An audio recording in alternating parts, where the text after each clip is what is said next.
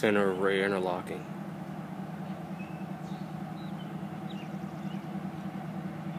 He's about to switch from track 2 to 1.